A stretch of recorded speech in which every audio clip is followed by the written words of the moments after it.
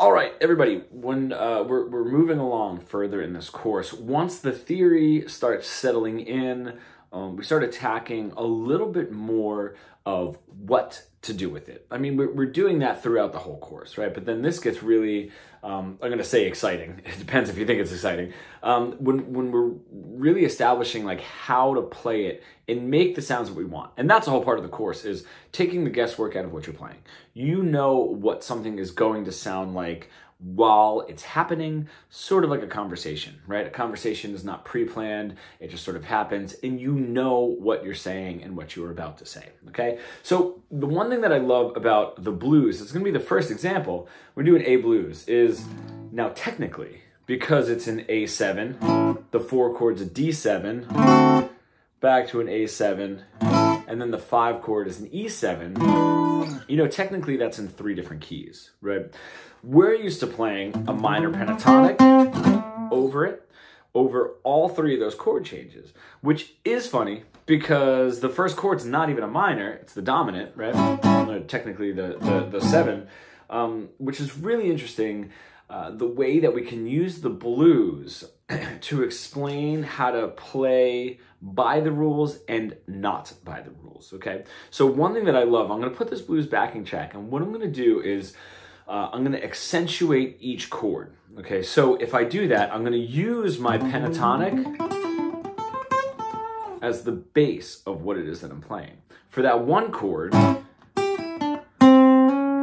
that, the third of the chord, even if you just play that A bar chord where your middle finger ends up, that's the third, the major third, right? I like sliding into it, you know, kind of giving that, that uh, minor to major sort of sound.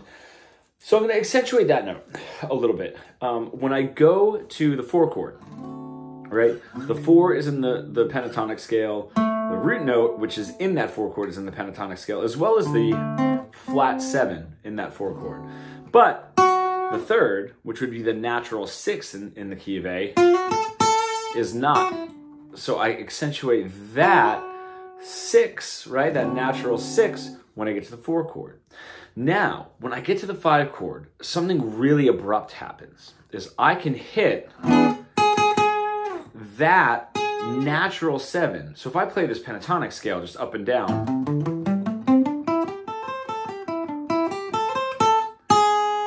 that really, really sticks out. It's like, do I want to be that abrupt with it?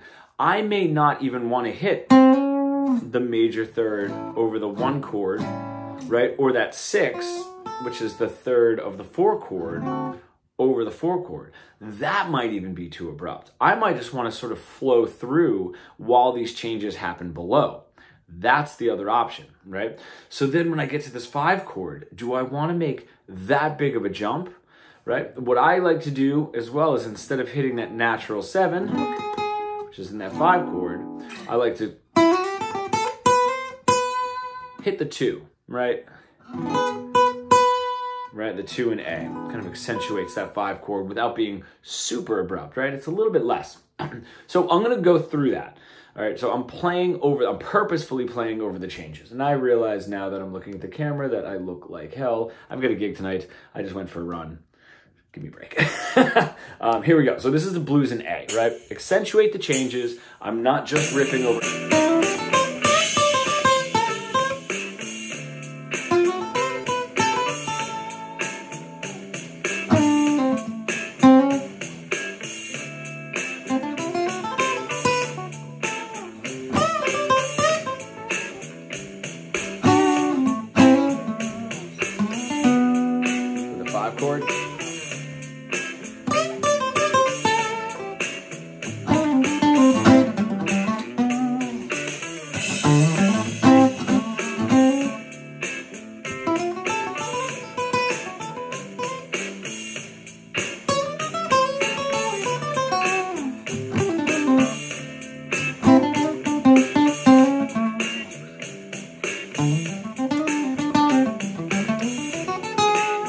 That five chord, right?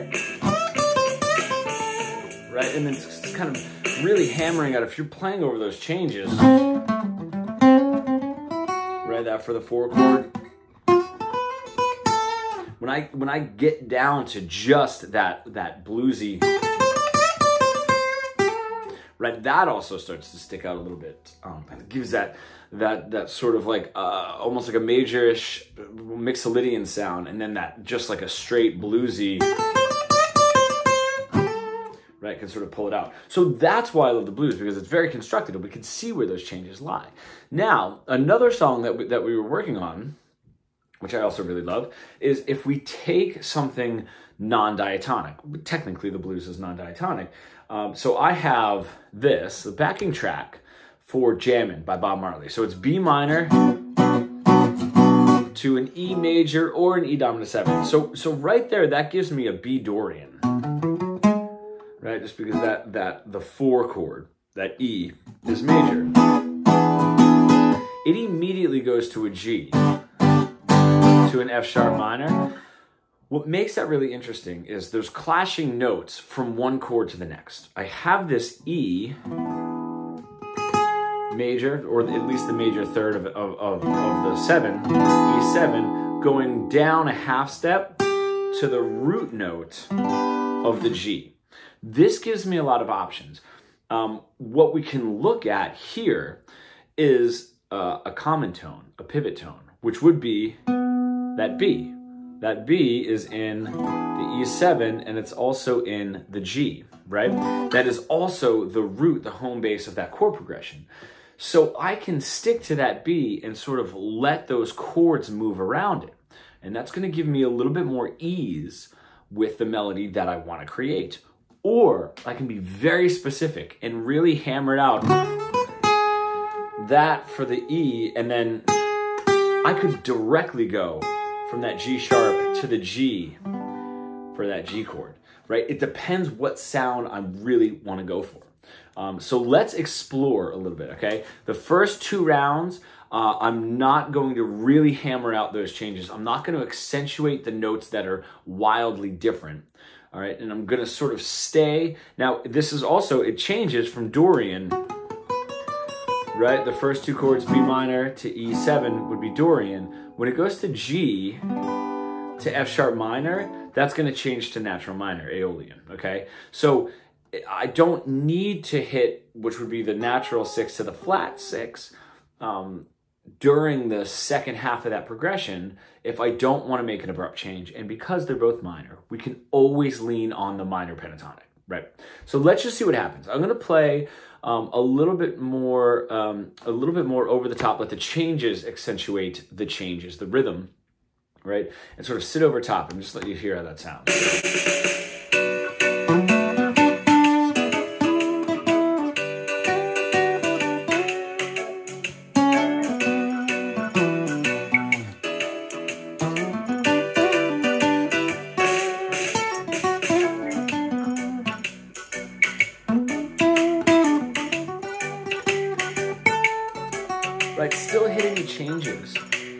Sort of like uh, hitting that A down to the F sharp over that F sharp minor, right, to accentuate that chord. Um, I am the root note and I've got that four, I've got that E when I change to that E7. So those are those are nice tones that aren't gonna make a, a huge abrupt change.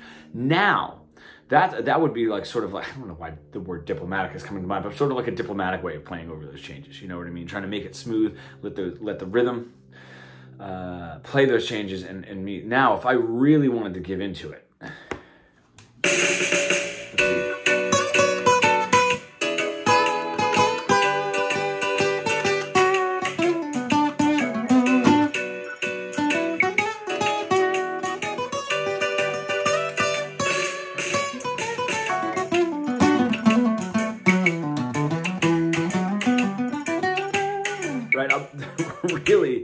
that last line when I'm on that E, right? And then immediately going and playing up uh, a sort of like G, a sort of like a G6, you know, arpeggio. That really gives me this major third or natural six major third for the E, but right, that's really, really gonna focus in on those changes. Do I wanna be that abrupt? Want to mix the two? Maybe one is going to sound too much, and then when it does, I can switch to the other one and say, "Oh, you know what I'm going to do? I'm gonna hit the B.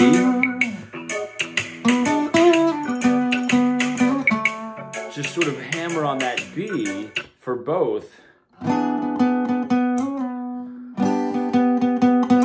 And then obviously getting down to that A for, for the F sharp, right? That would be not such an abrupt uh, way of playing the changes. So this is how we're sort of building melody. We know what's coming. What we're trying to do um, is build off of what we just did, just like a conversation. We're trying to build off of what it was that we just said and trying to make sense within the conversation. If I were, and this isn't going to be bad, but if I were to do something like this,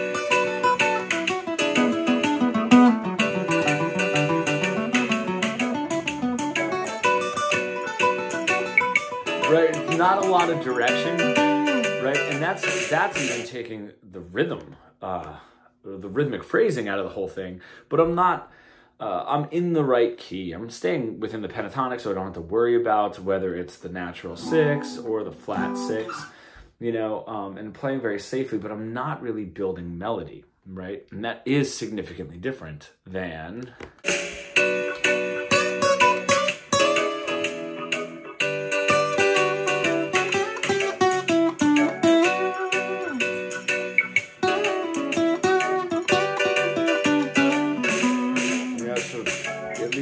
Something for, for the ear to grab onto. Um, so just so, something to think about if, if, if, that theory wasn't too far over your head, um, um, just because um, guitar players, we, we, can get away, I'm not saying that in a demeaning way, it's just that we can get away with a lot without knowing theory. So some of your players might be able to play circles around me and not know uh, theoretically why, but so I wanted to just just sort of point that out. Um, you know, and, and something to think about. And this is sort of what we're getting towards the end um, once all the theory starts making sense within, um, you know, within the course, you know, how that we can really apply it and really be able to use it musically. Um, so just throwing that lesson out there. Sorry that I look like crap. Uh, it's it's it's show day, you know, and I haven't taken a shower yet. Um, but I wanted to squeeze this out before I have to start getting ready and getting out of here. Thank you guys.